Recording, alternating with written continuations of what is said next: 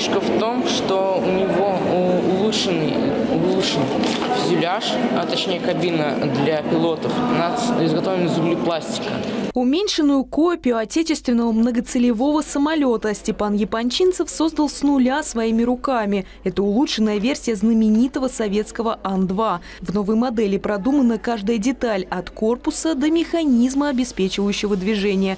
Проекту Степан посвятил львиную долю свободного времени. В процессе этого ты отвлекаешься от повседневных забот и так далее. Ты строишь самолет и понимаешь, что тебе это нравится.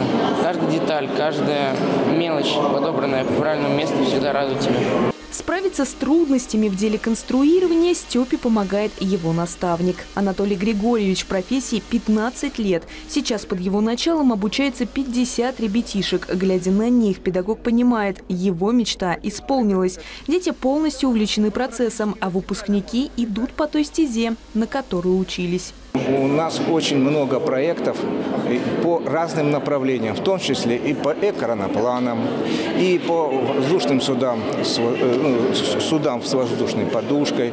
И, в общем-то, стараемся, стараюсь детям э, сделать наиболее разнообразное, более широкие понимание всей, э, всего комплекса э, обучения. Это база, на которой в дальнейшем строится развитие области и ее научно-технологический прогресс. Нынешние ученики в перспективе сотрудники флагманов предприятий региона. А для этого ее нужно уже сегодня начинать готовить, и мы этим занимаемся, но столкнулись с большой проблемой, что это наставничество, это те преподаватели, а, которые должны непосредственно готовить молодежь. То есть здесь мы также а, включились в работу в подготовке и наставников, совместном реализации совместных дополнительных образовательных программ не только для школьников, но и для наставников.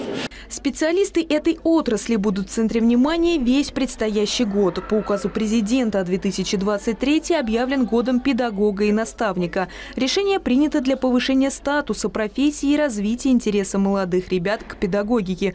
Череду тематических мероприятий начали с церемонии награждения.